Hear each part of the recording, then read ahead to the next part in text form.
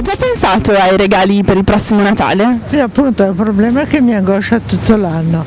E quest'anno spenderà più o meno dell'anno scorso? Penso più o meno lo stesso. Sì, alcuni pensieri per gli amici vorrei fare sulla gastronomia però. E spenderà più o meno dell'anno scorso? Più o meno lo stesso, più o meno lo stesso. Beh, tutto l'anno. Io quando vedo qualche occasione, promozione, eccetera, eh, prendo. Mm, Cerco sempre di non spendere mai eh, troppo perché non sono una consumista di natura. Avete trovato la persona sbagliata. Sì, eh, già fatti diciamo questo in estate per evitare di incorrere in aumenti di prezzi impossibili. E spenderà più o meno dell'anno scorso? Meno. Eh, sì, però solo per eh, fidanzate e parenti più stretti. E quest'anno spenderai più o meno dell'anno scorso? Meno. Questo a causa della crisi economica?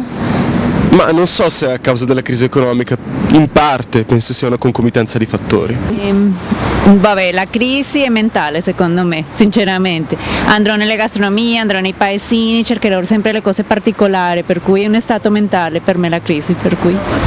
Beh, anche, e poi perché non è neanche tanto giusto buttare via i soldi quando si può evitarlo. A fronte della crisi economica, quest'anno secondo lei si spenderà meno? Ma questo sai, io non, non posso saperlo perché poi eh, si sente che tutti i viaggi sono già prenotati, mete esotiche, non riesco più a, non ho più le idee chiare assolutamente. Non, non lo so adesso i negozianti se si risentono di questa crisi o meno, non ho idea, non ho idea. Ma io certo sento che c'è la crisi personalmente perché è chiaro che, che i prezzi sono aumentati a dismisura, quello che, mm, cioè, non- questo si avverte che c'è, che c'è questa crisi evidentemente. Che poi eh, la gente non sappia rinunciare, magari faccia debiti per andare a fare un viaggio, evidentemente io personalmente della mia generazione non farei mai una cosa del genere, ecco.